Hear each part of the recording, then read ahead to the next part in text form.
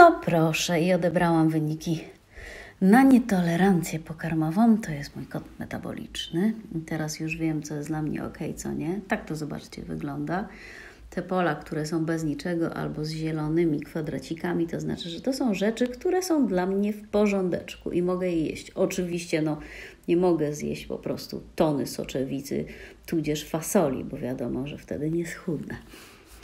A tutaj mamy na przykład, co mi szkodzi, co mi tu szkodzi. O, jak mi przykro grzybki. A tutaj jakby mnie to nie dziwi. Jęczmień, pszenica. Wiedziałam, że tak będzie. I co tu? O, ryż.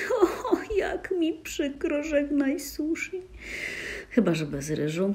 A, niestety kokos.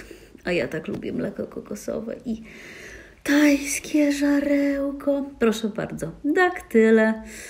Jedna z najważniejszych składowych tych wszystkich fit batoników. I co? Kupujecie potem dziewczyny te fit batoniki, a tu się okazuje, że w środku daktyle, który dla Was niekoniecznie jest zdrowy. O, proszę.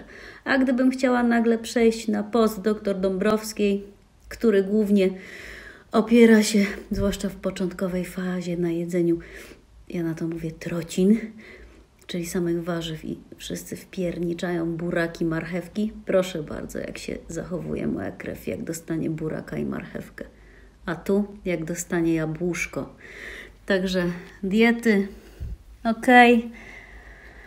pod warunkiem, że wiecie, co jest dla Was dobre, a co nie.